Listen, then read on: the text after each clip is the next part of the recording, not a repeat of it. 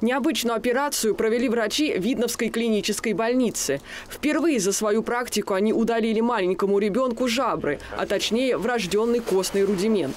Родители Ильдана заметили, что у сына выступающее новообразование на шее. Самому ребенку оно не мешало, но все же создавало эстетический дискомфорт. В семье приняли решение провести обследование в больнице. Было принято решение об оперативном вмешательстве. В процессе вмешательства также интерпретационно после контрастирования киста была полностью иссечена, предел здоровых тканей. И уже в процессе, когда киста была вскрыта, обнаружился рудимент э, жаберной дуги.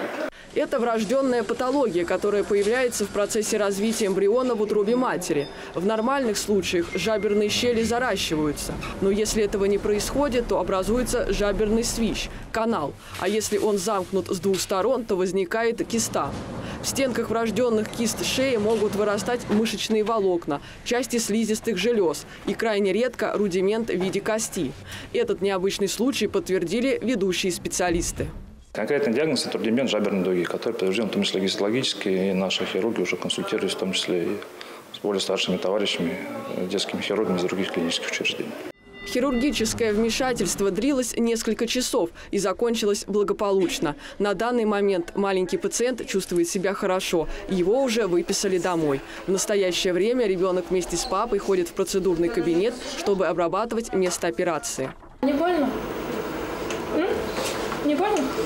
Ты молодец такой. Ты смелый мальчик.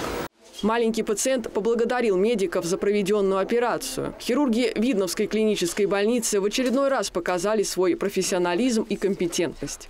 Юлия Стаферова, Александр Логинов, Ольга Садовская. Видное ТВ.